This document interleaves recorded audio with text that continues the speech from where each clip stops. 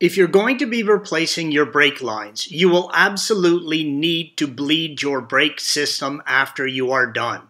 Please see the link at the end of this video for further assistance with that project. Front brake hoses. This picture illustrates the right side of the front caliper with the wheel already removed.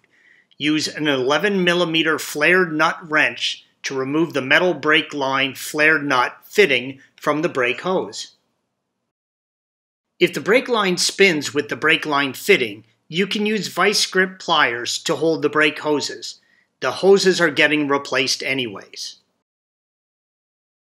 Thread the metal flared nut brake line fitting all the way out until the fitting slides loose on the metal brake line.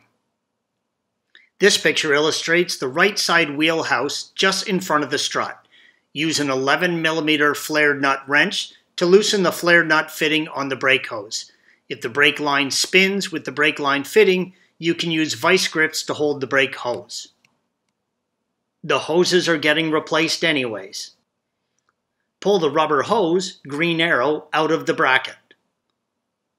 Thread the other end of the metal brake line fitting, green arrow, from the rubber brake hose. Pull the brake hose out of its bracket on the body of the car. The brake hose is held in place by a grommet, green arrow. Remove the brake hose from the bracket on the strut to remove the hose. You can now rotate the hose until it is unthreaded from the caliper. Be prepared to catch any dripping brake fluid. Installation is the reverse of the removal steps. Fit one end of the brake hose into the bracket on the body and tighten the flared nut fitting. Install the other end of the brake hose into the caliper bracket. Attach the small metal brake line flared nut fitting on the brake caliper to the brake hose and tighten. You can now bleed the brakes. Please see the link at the end of this video for further assistance with that. Rear brake hoses. This picture illustrates the right rear wheel housing. At the body side connection of the brake hose, use an 11 mm flared nut wrench, green arrow, to loosen the brake line flared nut fitting from the brake hose. Thread the flared nut fitting, green arrow, all the way out of the brake hose. Pull the rubber brake line out of the bracket on the body of the car.